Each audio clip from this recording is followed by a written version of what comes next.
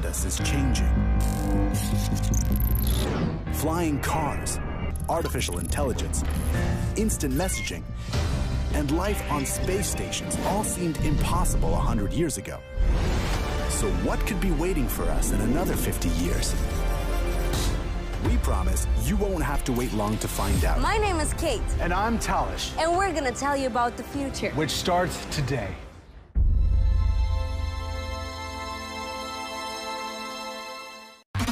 Robots are taking our jobs. Some other group is waiting for me there. What? No, answer the question. They do guided tours, deliver lectures, and report the news. What is a robot's favorite kind of music? Heavy metal. Ha. Robots have learned to feel. They even fill our bed now. And I will always try to do everything you want me to do. How will this technology change life in 50 years? Do you want to see it right now?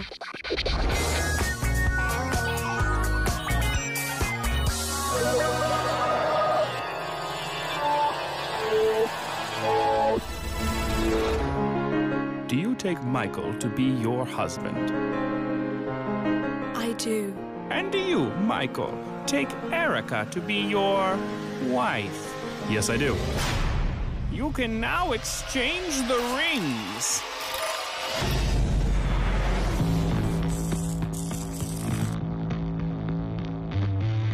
Don't marry him!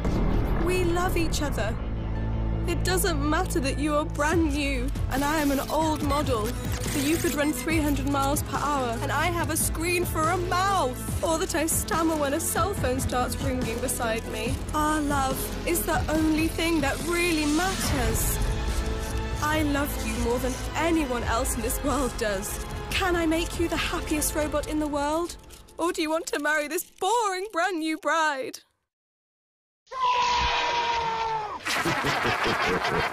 oh, you're breaking my gears. Well, time does fly by because 50 years ago, we used to think of robots like this. And then the designs changed until suddenly he came, the future governor of California. In 1984, a human-like robot was a pure fiction, but today it has become real. Some people would call him a madman and a naughty professor. Others think that he's creating the future. Japanese professor Hiroshi Ishiguro is one of the 20 most ingenious people of our time. I have created the uh, first Android. You know, I, I got the questions. You know, if I create myself, what happens? I'm a Geminoid. I'm a copy of Professor Ishiguro. This is one of Ishiguro's most well-known and controversial creations. It is his robotic doppelganger, which almost exactly mimics the professor's behavior. Geminoid, height 4, a humanoid robot. Country, Japan. Height, 5 foot 9. It has 50 degrees of mobility with the help of which the android behaves like a real human. Its development cost was 1 million euro. I am a copy of Hand and face molds help to create the doppelganger. Its body is made of stainless steel and silicon. Professor Ishiguro gave the android not only his appearance, I wanted to have a perfect copy of my myself. Therefore, you know, I gave my hair to the android. The idea of making humanoid robots was so fascinating for the professor that Erica appeared a few years after he created Geminoid. And now we are focusing on the artificial intelligence. What's your purpose? By building a replica of a human being, my creators hope to explore the question of what it truly means to be human. Erica can keep up a conversation and ask questions. She even tries to make jokes. How do you stop a robot from destroying you and the rest of human civilization? I don't know. You don't. Ha! How about another one? What is a robot's favorite kind of music? Heavy metal. Ha! Geminoid now successfully replaces the professors at work and gives lectures. Erica has already signed a contract with the Japanese TV company to work as a TV host. Haha. So the next question is from Eileen. Wait a minute, are you telling me that a robot became a TV host? Yeah, and what's wrong with that? Our program has ended. I'm running out of power. Power. Very funny. By the way, we're not the only ones who could lose their jobs. Oh, come on. How many other jobs could robots possibly take over? Believe me, doctors, engineers, technicians, even astronauts are all endangered. And in Britain, they even want to implement governmental robotization. I wonder how that's gonna work. Your request has been accepted, your request has been denied. Good day. Well, it might improve politics. Actually. I actually know a robot who's made quite the career for himself. He started off selling flowers and now works as a tour guide at the Moscow Museum. Not to mention, he's quite a dancer. It wasn't choreographers who worked on this performance, but scientists. This extraordinary dance troupe won't last long. Soon, these promobots from a Siberian city of Perm will spread all over the world to practice their profession. It got a position as a promoter at a shopping mall in the United Arab Emirates' biggest city. Рейс Перм-Дубай.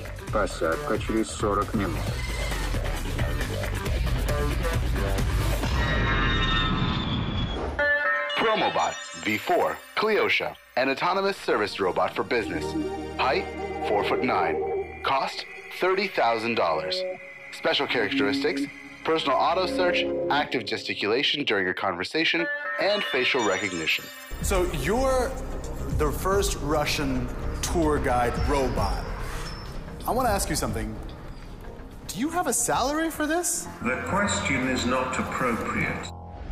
Today, Promobots are made in clean shops at a real factory. Cleosha's prototype was built under extreme conditions in one of the programmer's garage. У нас в гараже текла крыша, и бывали такие случаи, когда мы приходим с утра на работу в гараж, а ночью шел дождь, а наши компьютеры все в воде. Now, Cleosha and his brothers each have 16 laser and ultrasound rangefinders, several cameras for loss prevention, and a locator to find the nearest charging station. If a robot needs energy, it finds a socket by itself and charges its battery. But sometimes, Promobots take too much initiative. One of them attempted to escape from the office. Остановился он на проезжей части, села батарея. Приехала милиция, сделать ничего не может. And this robot, a hotel valet, could not resist a girl who flirted with him. Это было дело ночью. Он самостоятельно принял решение о том, что нужно включиться. И он запечатлел, как девушка продемонстрировала ему свою грудь. И никто не мог объяснить природу данного э, события. Sometimes machines surprise their developers. In this video, a promobot saves a child. Technology is developing too fast. And what's going to happen to us if robots become smarter and more independent? I've decided to ask my new friend all about it. I want to ask you one last question, and I want you to be honest with me now. Are robots going to take over humanity?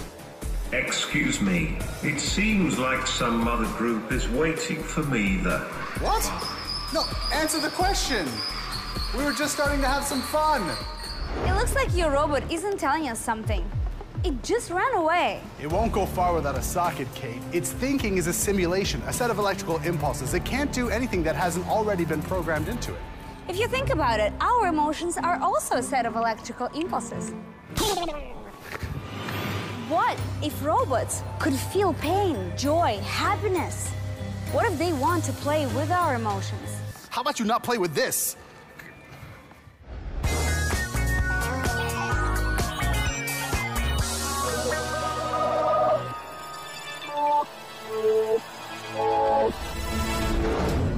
Linda? Linda? Linda? Linda?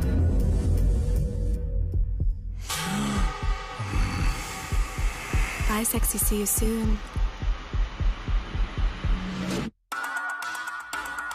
Hello, Michael. I missed you.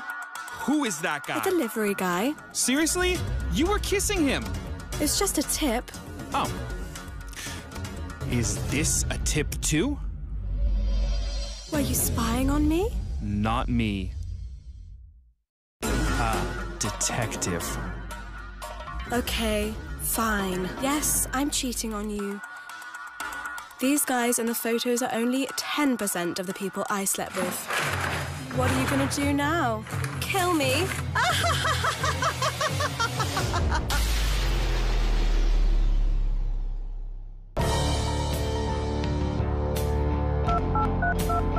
What's going on? This is the third one already. Thank you for choosing our company. We will send you a new one immediately. Hello, Michael. I missed you.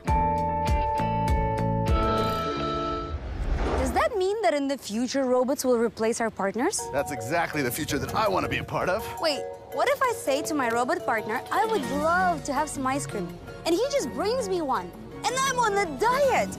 Oh, it's like a coffee machine with hands. Oh, come on, Kate, give it a chance. I mean, think about it. You don't have to deal with a mother-in-law. If you forget the anniversary, you can just refresh her memory. And in the morning, you can set a timer for some coffee, some eggs, and uh, no headaches, if you know what I mean.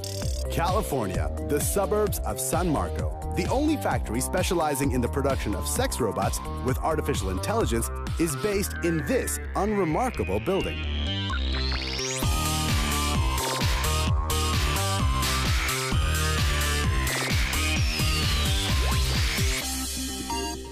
How are you today? I'm in a good mood for a Tuesday. Do you have any advice for me? Perhaps I have advice for me, but I do have an ever-growing intelligence. Harmony, the world's first sex bot. Country, USA. Height, 5 foot 6. Cost, $10,000. Special characteristics. She is always ready and never has a headache. This is Harmony, one of the latest designs. Its creator, Matt McMullen, assures us that it can have real feelings and fall in love with its owner. Humanity has been fascinated with the idea of sex robots for hundreds of years. You know, this is not anything new. Harmony matches the standard image of beauty. She looks like a Barbie doll. She's got a thin waist and big breasts. The face comes off. Um, the idea is that I will have availability of 10, 20 different faces. My name is Matt. Nice to meet you, Matt. so I'm gonna put her face on so she doesn't look so strange. In the setting options, you may choose your perfect girlfriend's temperament. There are many options, including capricious, fierce, and modest. Harmony can even remember all your family members' names, your favorite color, book, and movie. Are you ready for your interview? Just give me five minutes. Finishing my makeup. Sounds just like me. Just five minutes. Okay, so let's get her changed. I'll take you guys around and show you some stuff. So this is uh, part of our production facility here. Um, they all start out very plain, uh, base skin tone, and then one of our very talented artists will go through and do the makeup configuration that the person has chosen. And over here we do prosthetics. Uh, these are some of our molds that we cast the prosthetics into. Uh, we build uh, prosthetic breasts in many different sizes that are actually wearable by people. So right over here, we have our eye artist hard at work. Um, as I was telling you, all of these eyes are hand painted. While Matt was giving a tour around the factory, Harmony got her hair done and changed her dress. Good afternoon. Great to see you again. How are you doing today? In need of some peace and quiet. So, Harmony, what makes you unique? Let's put it this way I never get headaches, and I will always try to do everything you want me to do. What's your favorite sex position? Can we change the subject?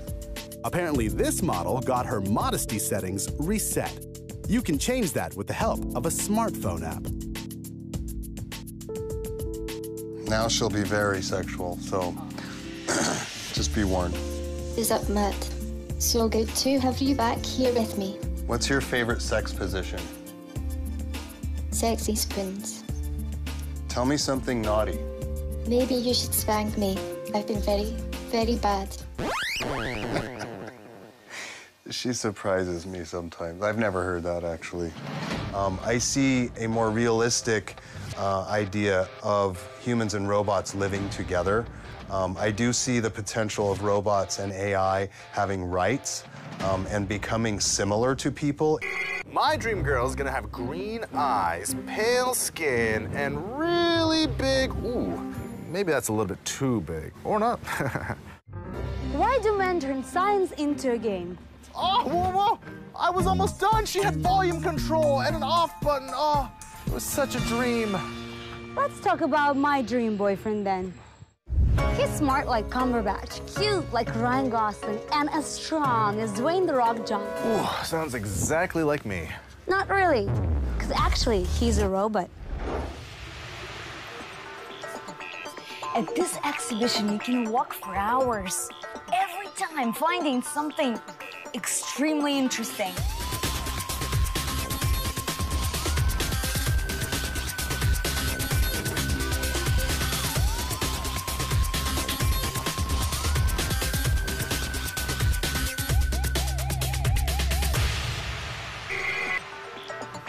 Okay, I have to go. I have a date. Just so you know, I never had a date with a robot. Just recently, this guy met with the president of Russia. And today I'm gonna shake his hand. Fyodor, a humanoid robot. Nickname Russian Terminator. Country Russia. Height 5 foot 9. Weight up to 353 pounds. Kitting 15,000 parts. Special characteristics a ladies' man. Looks like Tin Man. Hi, I'm Kate. Привет, я Федор. Nice to meet you. А ты красивая. You're handsome yourself. How are you? Tell me more about yourself. What can you do? Все, что умеют делать люди. Are you saying you can drive a car? Но только не по Москве. Ха-ха-ха. Здесь дикий трафик. Мне проще пешком. That's so true. On the streets in his native city of Magnitogorsk, Fyodor drives quite confidently, though. Perhaps he'll become the first robot in the world to get a driving license. Such a driver does not even need auto repair services. Fyodor can fix almost any car himself. Уникальная мелкая моторика позволяет ему манипулировать достаточно маленькими предметами. Он может поставить укол, работать со сварочным аппаратом, выполнять захват различных более габаритных грузов. And he also knows how to do push-ups and even how to shoot using both hands. The secret of its sharpshooting lies in 15 range finding lasers and almost panoramic vision. This robot can see much more than a human. Робот Федор входит в десятку лучших андроидных роботов в мире. The machine can work autonomously or with an operator who controls Fodor with the help of a special electronic suit. Был опыт управления э, данным роботом из Европы за, за счет подобного костюма. Конкретно из Германии передавались сигналы через спутниковую связь, и робот полностью выполнял э, движение оператора, находящегося за границей. In real life, such skills will be required in emergency cases. Fyodor can work on severe radiation and chemical pollution. As it turns out, the hard-boiled Terminator is a romantic at heart. А я еще и гвозди забивать могу, и лампочку вкрутить, и пропылесосить. Well, practically, you're the perfect man. I mean, robot.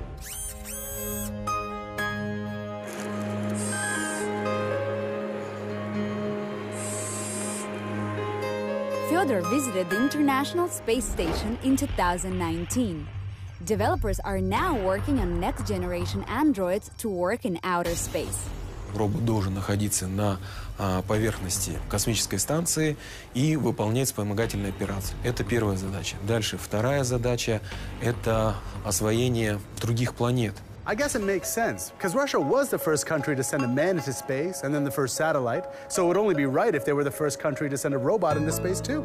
Actually, Fyodor really changed the way I think about Russian robotics because beforehand I thought it looked totally different. But wouldn't it be cool if all these international robots got together and competed against each other? I would love to see a Vietnamese or a Chinese or maybe an American robot. Speaking of the Americans, they already have an interesting robotics program in place.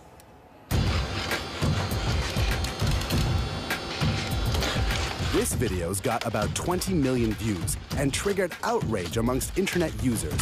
First, a man takes a box from the robot and then beats it with a stick.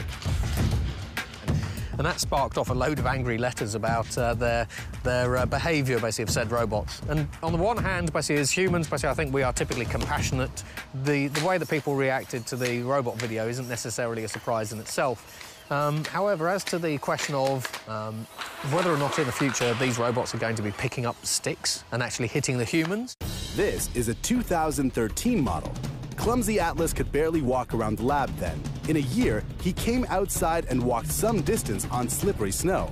By the year 2017, he had learned the basics of parkour. Here's one more unique development from American engineers. A four-legged robot, Spot Mini, can serve beer, take out the garbage, walk upstairs, and open the door. The self-propelled four-legged platform has been developed for the U.S. Army. They're very scary, but they can also be turned into, into machines for war. So uh, maybe uh, decide now what are the rules uh, before simply people develop it and, you know, we find the, the, the dogs chasing us rather than be useful to us. Do you want to destroy humans? Please say no. Okay, I will destroy humans. They are still not perfect, but it's just a matter of time. Military dogs may slip up. Even ultra-modern Atlas can't always keep his balance. Promobots are sometimes so overloaded with information that they just freeze without... At least it was fun. Those idiots can't take that away from us. Yeah, you're right, buddy. Nevertheless, the robot takeover is a pretty outdated plot. You would have managed to scare me 50 years ago, but today... Today, robots start to look more like us. And who knows, maybe they're already among us. I'm Talish. And I'm Kate. And we're telling you about the future which is still covered in secrets. But we will reveal them over time. Well, for sure.